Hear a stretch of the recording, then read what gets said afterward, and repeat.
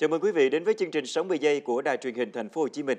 Chương trình hôm nay của chúng tôi gồm có các nội dung chính sau đây. Bộ Y tế đề nghị tìm thêm nguồn cung nhập khẩu vitamin A để đáp ứng cho các chương trình y tế. Doanh nghiệp có thể đặt lịch hẹn đăng kiểm online từ một tài khoản cho nhiều xe một ngày. Hỏa hoạn tại một ngôi nhà đóng kín khiến 4 bà cháu tử vong thương tâm. Bán kết bóng đá nam SEA Games 32 giữa U22 Việt Nam và Indonesia. Ngày 12 tháng 5 đã diễn ra hội đàm về việc xây dựng hạng mục đường chuyên dụng vận tải hàng hóa xuất nhập khẩu cửa khẩu Sóc Giang Việt Nam và Bình Mãn Trung Quốc tại cột mốc 647 biên giới Việt Trung trên địa bàn Hà Quảng, tỉnh Cao Bằng. Tham dự sự kiện gồm chính quyền nhân dân hai huyện Hà Quảng và Nà Bo, tỉnh Quảng Tây Trung Quốc. Tại hội đàm, hai bên kiểm tra tham số tiêu chuẩn kỹ thuật, văn bản tài liệu, phương án thiết kế công trình, cũng như ký kết biên bản về việc xây dựng hạng mục đường chuyên dụng nói trên. Sau khi thảo luận, phía Trung Quốc sẽ tiến hành sửa đổi một số nội dung, hàng chót trước ngày 15 tháng 6. Sau đó thông qua kênh ngoại giao, phía bạn sẽ gửi cho Việt Nam tái kiểm tra đối chiếu. Về phần mình, huyện Hà Quảng có một tháng để trả lời cho phía Trung Quốc, đồng thời gửi kèm phương án để phía bạn kiểm tra đối chiếu và đi tới thống nhất phương án thiết kế. Tuyến đường được kỳ vọng đáp ứng nhu cầu thúc đẩy vận tải hàng hóa, phục vụ hoạt động xuất nhập khẩu và giảm ùn tắc. Sau khi nhận phản ánh của Sở Y tế Thành phố Hồ Chí Minh về việc thiếu thuốc vitamin A, Bộ Y tế đề nghị các đơn vị liên quan tìm thêm nguồn cung để đáp ứng cho các chương trình y tế. Hiện chỉ có thuốc vitamin A có giấy đăng ký lưu hành còn hiệu lực tại Việt Nam. Trước đây, vitamin A liều cao dùng để bổ sung cho trẻ từ 6 đến 60 tháng tuổi được các tổ chức nước ngoài viện trợ, nhập khẩu vào Việt Nam và phân bổ cho các tỉnh, thành phố trực thuộc Trung ương theo nhu cầu. Từ năm 2023, các địa phương phải chủ động xây dựng kế hoạch mua sắm vitamin A từ nguồn kinh phí của địa phương hoặc từ nguồn của các chương trình mục tiêu quốc gia đã được phân bổ cho địa phương. Do đó, để đảm bảo nguồn cung ứng thuốc vitamin A nói chung và vitamin A liều cao nói riêng, Cục Quản lý Dược đề nghị các cơ sở sản xuất thuốc, cơ sở nhập khẩu thuốc tăng cường nghiên cứu, sản xuất, tìm nguồn cung ứng và nhập khẩu thuốc vitamin A tạm dừng tiếp nhận tổ chức các kỳ thi sát hạch lái xe ô tô đối với học viên ở Trung tâm dạy nghề lái xe Sài Gòn tại Biên Hòa, Đồng Nai, quyết định được Sở Giao thông Vận tải tỉnh Đồng Nai thống nhất với các cơ quan liên quan sau những sai phạm ở trung tâm này xảy ra gần đây. Lý do được đưa ra là hiện trung tâm không có người đại diện tham gia hội đồng sát hạch theo quy định. Bên cạnh đó, hiện chưa thể xác định số học viên đủ điều kiện đảm bảo tính hợp lệ của dữ liệu giám sát thời gian và quãng đường học thực hành lái xe trên đường. Mặt khác, các cơ quan điều tra của Bộ Công an cũng đang trong quá trình thụ lý. Trong thời gian chưa có kết luận của cơ quan điều tra, chưa kiện toàn chức danh giám đốc trung tâm thì không tiếp tục việc đào tạo, tổ chức thi và cấp chứng chỉ sơ cấp nghề đối với số học viên tồn động. Trước đó, ngày 28 tháng 4, ông Hồ Đinh Thái Hòa, giám đốc trung tâm đã bị khởi tố, bắt tạm giam về hành vi giả mạo trong công tác. Thay vì chỉ được đặt lịch hẹn cho 1 tới 2 xe mỗi ngày như trước đây, thì nay các công ty vận tải, nhà xe có thể đặt hẹn đăng kiểm online từ một tài khoản cho nhiều xe cùng một ngày. Cục Đăng kiểm Việt Nam cho biết cơ quan này đã làm app đăng kiểm với tính năng đăng ký riêng cho doanh nghiệp. Thay đổi này của Cục Đăng kiểm Việt Nam sẽ giúp các đơn vị giảm thời gian chờ đợi đăng kiểm cho các xe. Trước khi mà đặt qua app á, thì chúng tôi phải à, xếp hàng à, rất là lâu. 2-3 giờ sáng đã kéo nhau đến trạm đăng kiểm để ngồi ở đó. Cái app đó là được cái là rất là thuận tiện, đó là chúng tôi không phải đến để mà chờ đợi xếp hàng chờ đợi. Tuy vậy cũng còn một số vướng mắt như lịch đã kín, phương tiện khi chờ đăng kiểm lại quá hạn. Bây giờ đến tháng 7 là không không không không hề à, không hề đăng ký được gì cả. Hiện tại có một số xe là khoảng tầm tới tầm khoảng 9 tháng 10 là đã hết hạn rồi. Vì thế là các em phải đi trực tiếp xuống Tiền Giang và đăng ký cho hai xe. Xe đậu lại không hoạt động không có nghĩa là chúng tôi không tốn chi phí. Từ bãi đậu cho đến à, bảo dưỡng và thậm chí là các đơn hàng của chúng tôi bị chậm lại. Khách hàng của chúng tôi phạt chúng tôi rất là nhiều. Hiện Cục Đăng kiểm và Bộ Giao thông Vận tải đang soạn thảo Nghị định 139 sửa đổi bổ sung, cho phép một đăng kiểm viên bậc cao sẽ được đứng hai dây chuyền kiểm định. Nếu được thông qua, số lượng xe kiểm định có thể tăng gấp đôi, giúp việc đăng kiểm xe nhanh chóng, thuận lợi hơn. Bán đảo Cà Mau có hơn 254 km bờ biển, trong đó có 107 km bờ biển Đông, 147 km bờ biển Tây. Trong 10 năm trở lại đây, sạt lở đất bờ biển đã làm mất đi hơn 5.000 hecta đất rừng. Diện tích này tương đương với diện tích bình quân một xã của tỉnh. Trước tình trạng này, địa phương đã khẩn trương xây kè đê biển bảo vệ trước mùa mưa bão. Đê biển Tây bảo vệ dùng sản xuất của hơn 26.000 người dân sống ven biển trên địa bàn các huyện U Minh và Trần Văn Thời. Hơn 58 km kè bảo vệ này phát huy hiệu quả khi một phần diện tích rừng phòng hộ có dấu hiệu tái tạo mới. Để à, mà chống sạt lở phía bên trong của tuyến đê biển, hiện nay hạt quản lý đê điều phối hợp chặt chẽ với đơn vị thi công, đảm bảo xây dựng đúng tiến độ, hoàn thành đưa vào khai thác sử dụng trước mùa mưa bão để bảo vệ đê điều. Là bà con nhân dân rất là mừng để đảm bảo cuộc sống cho hàng bao nhiêu ngàn hộ dân ở bên trong, sống không no ngại gì vấn đề nước biển dâng để rồi tràn và ngập đồng ruộng rồi nhà cửa ảnh hưởng cái tài sản cũng như là tính mạng của nhân dân. Những ngày gần đây, Cà Mau xuất hiện nhiều cơn mưa đầu mùa làm giải nhiệt cho công tác phòng chống cháy rừng. Tuy nhiên, cũng chính điều này đã làm tăng áp lực lên những người xây dựng kè để bảo vệ đê. Cà Mau cũng cần được hỗ trợ tiếp tục để đầu tư xây kè bảo vệ trên hơn 131,5 km đường bờ biển có nguy cơ sạt lở rất nguy hiểm trong thời gian tới. Thời gian này, các vùng biển ở tỉnh Khánh Hòa đang bước vào cao điểm mùa câu mực. Đặc biệt hơn, trong những ngày qua, nhiều ngư dân đã rất phấn khởi khi câu trúng những con mực nang khổng lồ nặng từ 2 đến 3 kg. Tại cảng cá Nhân Sinh, phường Vĩnh Trường, nơi các tàu câu mực biển khơi trở về cập bến với những con mực nang khổng lồ. Mực nang khổng lồ có ưu điểm là thân rất to, thịt dài nhất trong các loại mực, vị ngọt và giòn nên được thị trường trong và ngoài nước ưa thích. Vì vậy mà giá bán mực nang tươi cho tiểu thương tăng hơn so với các loại mực khác, khoảng từ 180.000 đồng đến gần 300.000 đồng một ký, tùy theo kích cỡ. Ngoài ra, nang của chúng còn làm thuốc chữa bệnh nên nhiều thương lái cũng thu gom riêng để bán kiếm thêm thu nhập.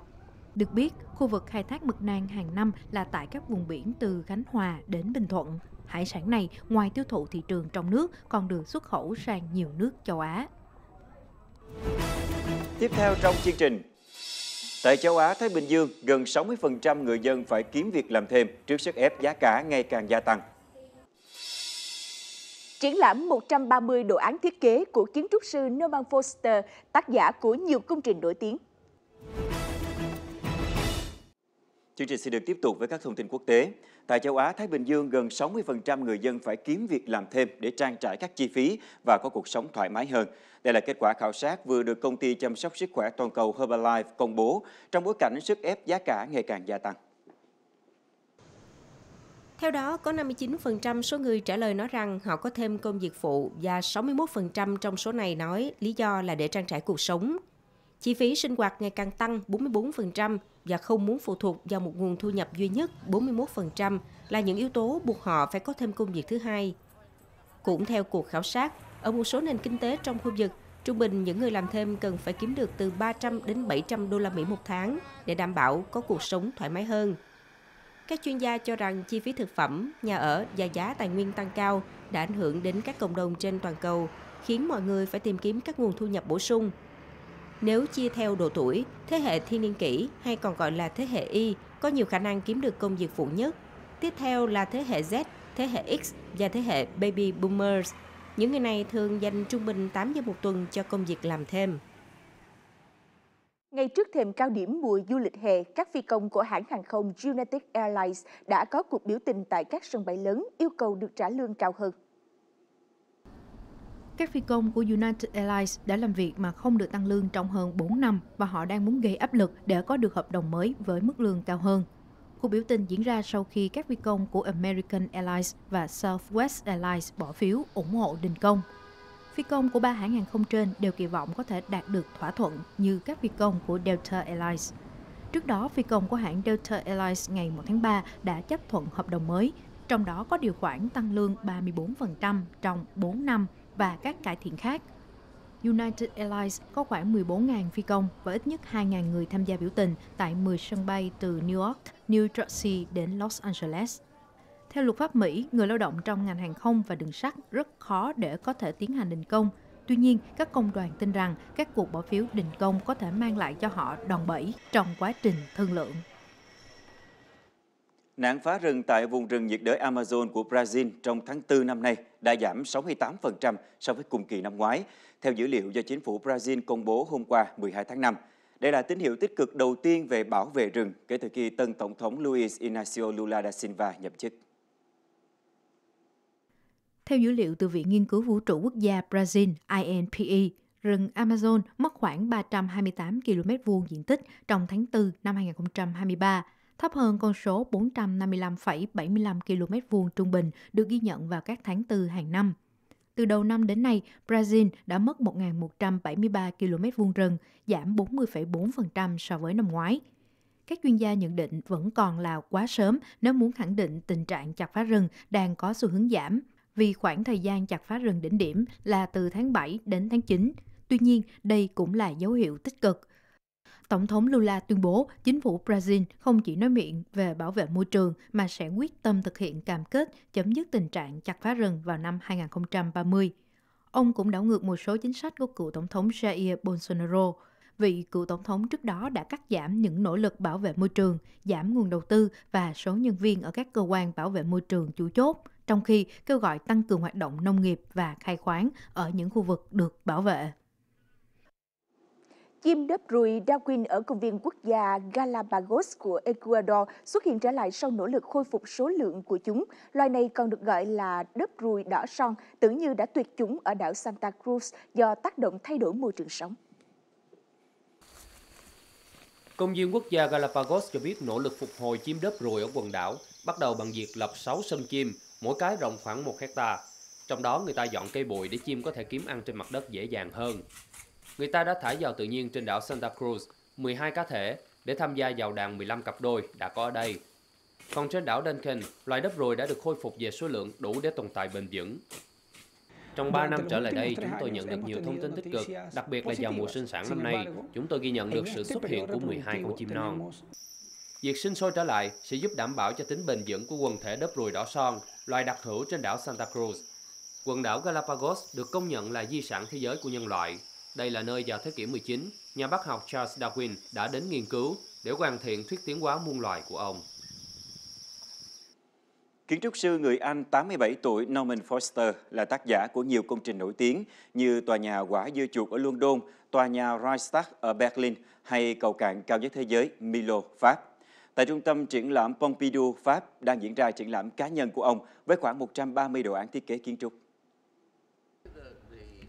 Các đồ án thiết kế sân bay, hệ thống vận tải hành khách, tòa nhà cao tầng, hạ tầng giao thông của ông tái hiện chặng đường 60 năm đã qua trong ngành kiến trúc. Hàng trăm phát thảo, bản vẽ, mô hình được trưng bày trên diện tích hơn 2.000 m2, đặc biệt là không gian triển lãm do chính tay kiến trúc sư nổi tiếng này thiết kế.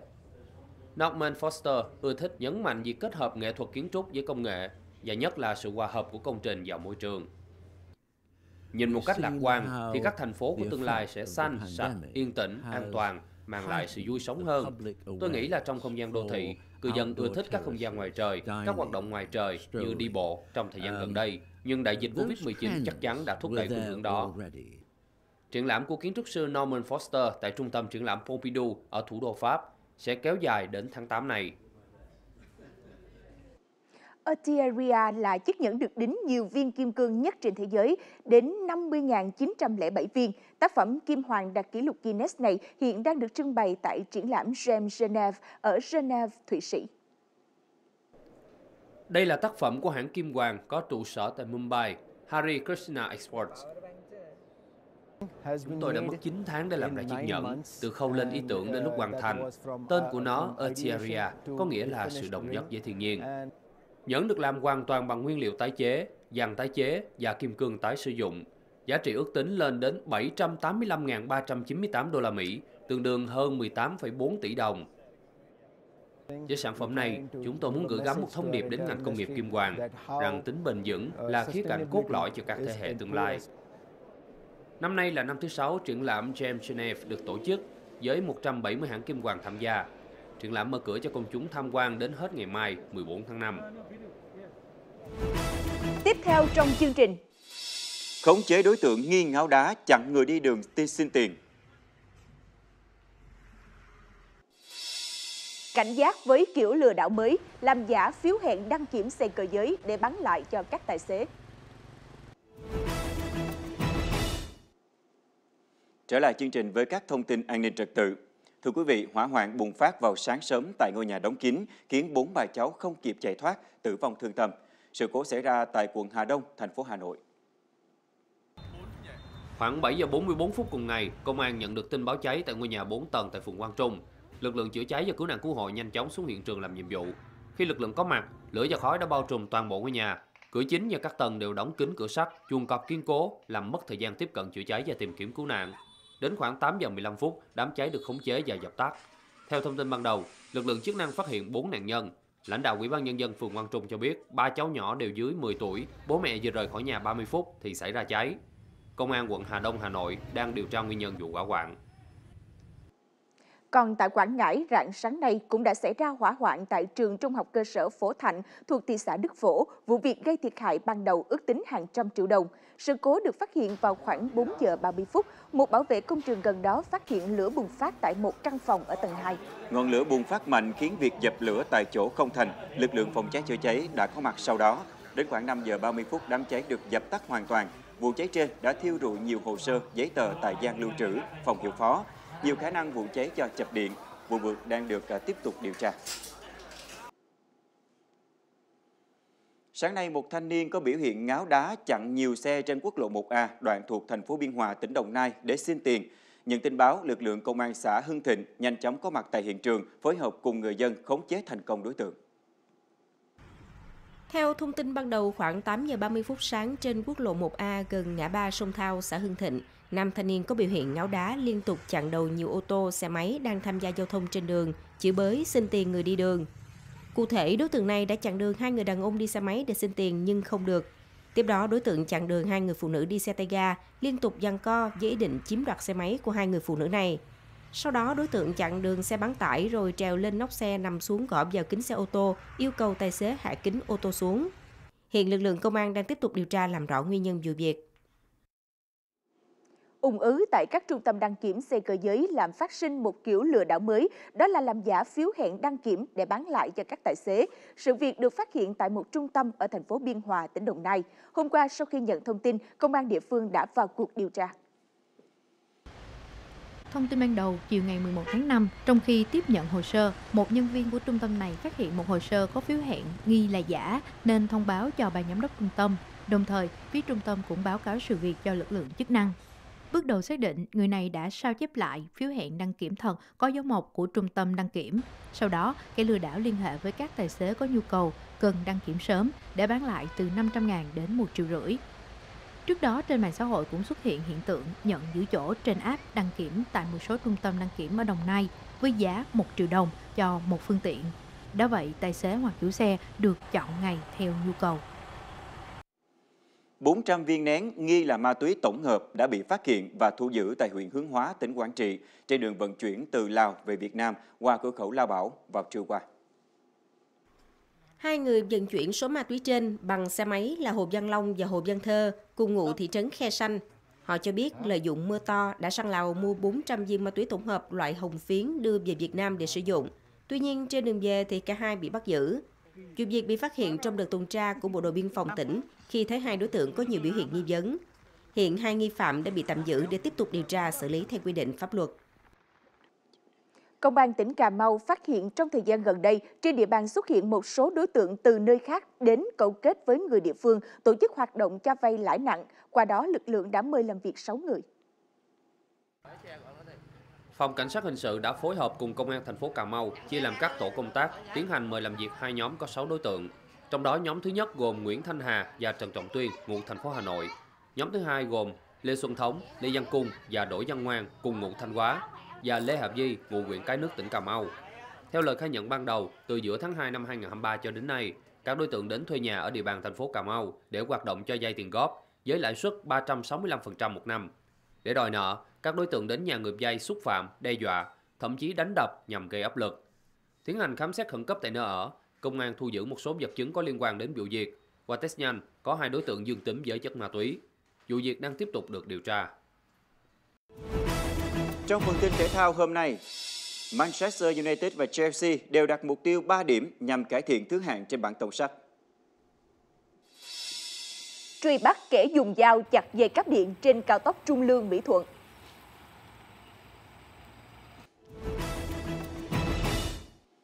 Thông tin cập nhật phát hiện người đàn ông dùng dao cắt dây cáp điện trên cao tốc Trung Lương Mỹ Thuận. Nhân viên cao tốc đã có mặt bắt quả tang và bàn giao người này cho công an. Vụ việc xảy ra vào sáng nay 13 tháng 5.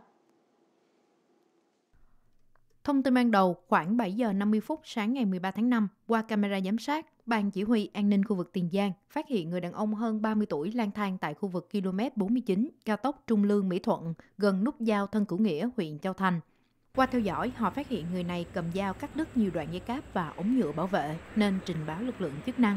Khi công ty cứu hộ giao thông 118TG cử nhân viên đến hiện trường, thì người đàn ông liền bỏ chạy và còn cầm dao đe dọa. Sau đó, nhân viên cao tốc đã khống chế được người này và bàn giao đối tượng cùng tan vật cho công an huyện Châu Thành. Tại hiện trường, nhiều đoạn dây cáp bên dưới trụ điện chiếu sáng bị đứt. Cơ quan chức năng đang lấy lời khai người đàn ông và xử lý theo quy định. Tại thành phố Hồ Chí Minh đến chiều nay, vụ xà lan va vào cầu An Phú Đông vẫn đang được điều tra và khắc phục sự cố. Trước đó vào khoảng 7 giờ sáng nay, một tàu kéo xà lan chở cừu ván bê tông đã tông vào cầu. Tàu kéo biển kiểm soát LA03774 do tài công Phạm Thanh Hải điều khiển lưu thông trên sông Dàm Thuật hướng từ sông Sài Gòn vào cầu An Lộc. Khi đến cầu thép An Phú Đông nối quận 12 với quận Gò Vấp thì va chạm vào trụ cầu bằng thép ở chính giữa sông. Sự cố làm hai cọc số 6, 7 của trụ cầu bị biến dạng, cong dên, xà lan mất lái xoay ngang sông. Nhận tin báo, Công an quận 12, Phòng Cảnh sát Giao thông Đường Thủy, đại diện ban quản lý có mặt lập hồ sơ vụ việc lấy lời khai để làm rõ nguyên nhân. Bước đầu, tài công khai nhận do hộp số của tàu bị gãy ốc, liên kết với máy tàu dẫn tới phương tiện mất lái gây tai nạn. Chương trình 60 giây hôm nay của chúng tôi xin được khép lại tại đây. Cảm ơn sự quan tâm theo dõi của quý vị và xin chào tạm biệt.